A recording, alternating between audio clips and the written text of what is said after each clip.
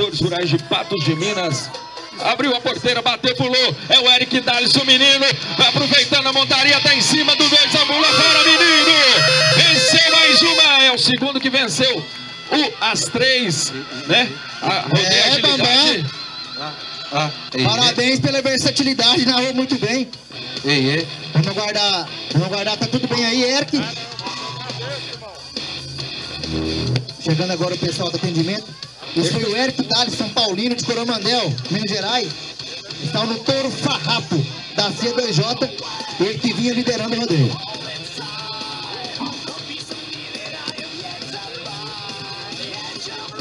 A gente agradece mais uma vez a Fazenda Lanhosa, o nome da pessoa do Alamir. Nosso muito obrigado a Top Top Madeiras, Ações Criador, ao senhor Elias, ao Diego do Telão, Via Láctea, TV Paranaíba. Nosso muito obrigado a NTV, Rádio Patos, Jovem Pan, TV Integração, Rádio Clube, patosagora.net e lembrando também do Baile do Cowboy, dia 27 de agosto, do Clube LTC em Lagoa Formosa.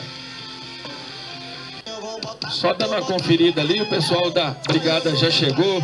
Tá lá o Alvin, a- os demais integrantes da equipe tá ali passando.